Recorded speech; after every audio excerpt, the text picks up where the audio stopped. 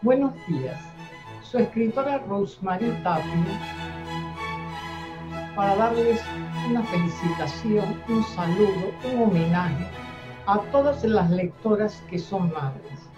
Ustedes tienen el privilegio de haber dado vida. Además, que se transfiera esa felicitación a sus madres.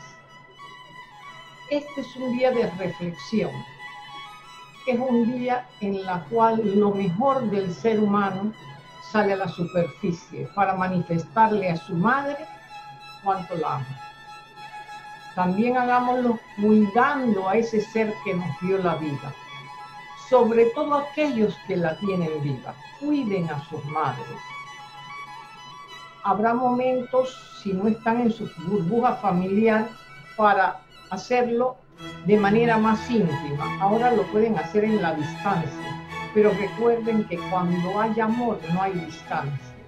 El puente para comunicarle el amor a su madre es el deseo ferviente de que ella conserve la salud. Un abrazo a todas las madres, mi homenaje y que Dios las conserve saludables y bellas. Un fuerte abrazo de su escritora Rosmarita.